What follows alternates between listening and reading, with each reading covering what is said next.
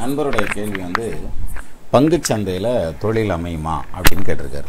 இந்த பங்கு சந்தைன்னு போகிறப்ப எப்படி எடுத்துக்கலாம் அப்படின்னா முக்கியமாக ஆறாம் இடம் பதினொன்றாம் இடம்.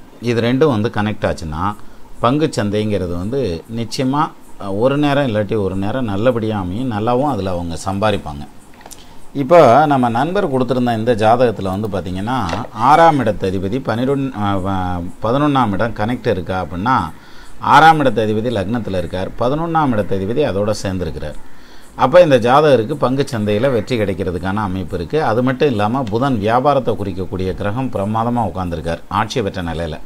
அதனால் பங்கு சந்தையில் இந்த ஜாதகர் நிச்சயமாக சக்ஸஸ் ஆவார் அப்படின்ற மாதிரியான அமைப்பு இருக்குது சரி.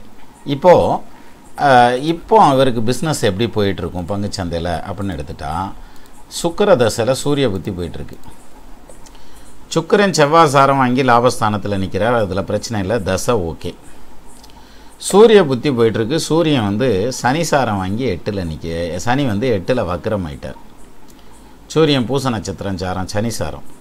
சரி அப்போ சூரியன் நல்லா இருக்குமா அப்படின்னா நிச்சயமாக நல்லா இருக்காது. ஏன்னா சூரியனும் சனியும் பகைக்கிறங்கிறது ஒரு பக்கம்.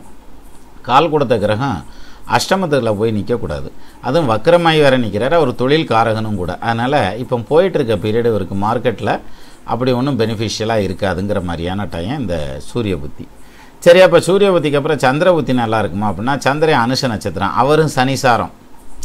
அதே சனி எட்டில் போய் வக்ரமாக இருக்கார். அப்போ சூரிய புத்தி ஒன் செகண்ட் ரிப்பீட்டடாக சந்திர புத்திலையும் நடக்கும்.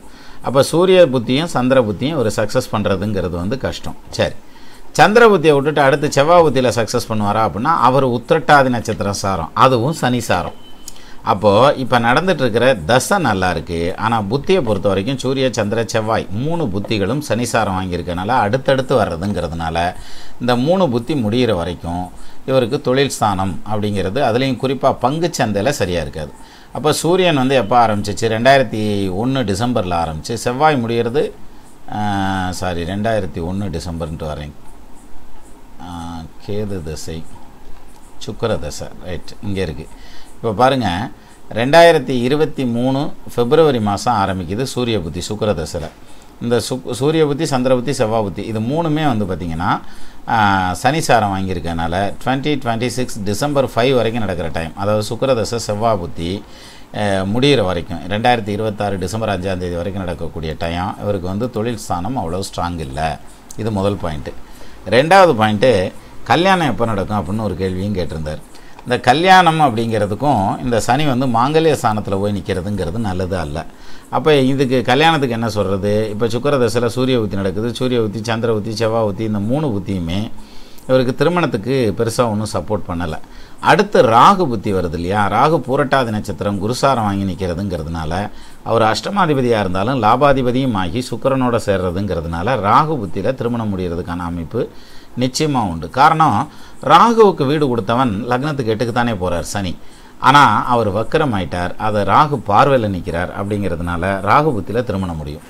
அதுக்கு முன்னால் திருமணம் அப்படிங்கிறது கைகூடி வந்ததுன்னா அது யோகம் நிதியம் சொல்லணும். வேறு என்னென்னு சொல்கிறது அப்போ ராகு எப்போ வர்றாரு? ரெண்டாயிரத்தி இருபத்தி ஆறு டிசம்பரில் தான் வர்றாரு. அதுக்கு முன்னாடி அதுக்கு முன்னாடி பொண்ணு கிடச்சா தாராளமாக பண்ணிக்கலாம். ஆனால் கல்யாணம் இப்போ நடக்கிறதுக்கான வாய்ப்பு ஜாதக ரீதியாக கம்மியாக தான் இருக்குது அப்போ ரெண்டாயிரத்தி இருபத்தி ஏழில் திருமணத்துக்கான அமைப்பு. இப்போவுமே வயசு கூடுதலாகிடுச்சு பட் இருந்தாலும் அந்த காலதாமதம் வரும் அப்படிங்கிற மாதிரியான பாயிண்ட்டை இதில் சொல்லுது. அப்போ மொத்தத்தில் பங்குச்சந்தை அப்படின்னு எடுத்துக்கிட்டால் sixth and eleventh house connect ஆகிருக்கிறது ரொம்ப முக்கியம்.